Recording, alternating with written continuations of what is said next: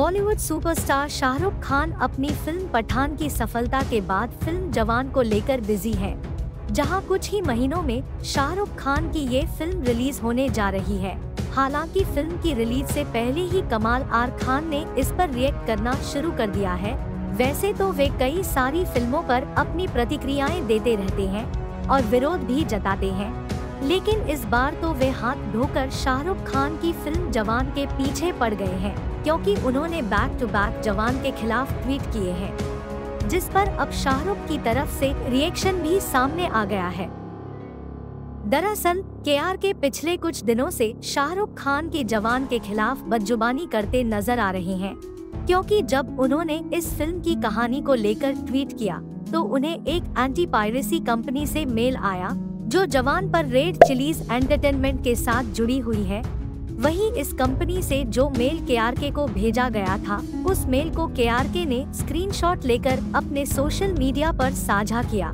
वहीं उस मेल में के से अपने सोशल अकाउंट पर से जवान का कंटेंट डिलीट करने की गुजारिश की गई थी, लेकिन के ने उस कंटेंट को डिलीट करने के बजाय उस मेल का ही स्क्रीनशॉट अपने ट्विटर पर साझा किया और लंबा चौड़ा पोस्ट लिखा। जहाँ के ने लिखा, सुबह सुबह शाहरुख खान की कंपनी रेड चिलीज ने मुझे एक लीगल नोटिस भेजा, जिसमें मुझसे ट्वीट और जवान की स्टोरी डिलीट करने के लिए कहा गया, लेकिन मैंने उसे स्वीकार नहीं किया है। और अब मैं फ़िल्म की पूरी कहानी बताते हुए एक वीडियो जारी करूँगा।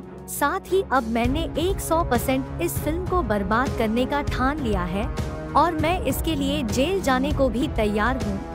हालाँकि अब देखने वाली बात यह होगी कि इस मामले में आगे क्या अपडेट सामने आता है।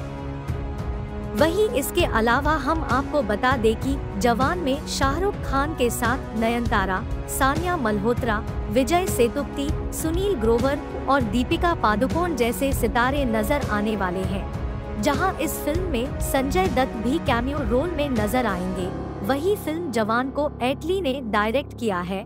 हालाँकि पहले यह फ़िल्म 2 जून को रिलीज़ होने वाली थी, लेकिन अब यह फ़िल्म 7 सितंबर को सिनेमाघरों में नज़र आएगी, जिसके बाद देखने वाली बात यह होगी कि शाहरुख की ये फ़िल्म अब बॉक्स ऑफ़िस पर क्या कमाल दिखाती है। वैसे इस फ़िल्म को लेकर आपका क्या राय है? कमेंट सेक्शन में बताइए और चैनल को सब्सक्राइब करिए।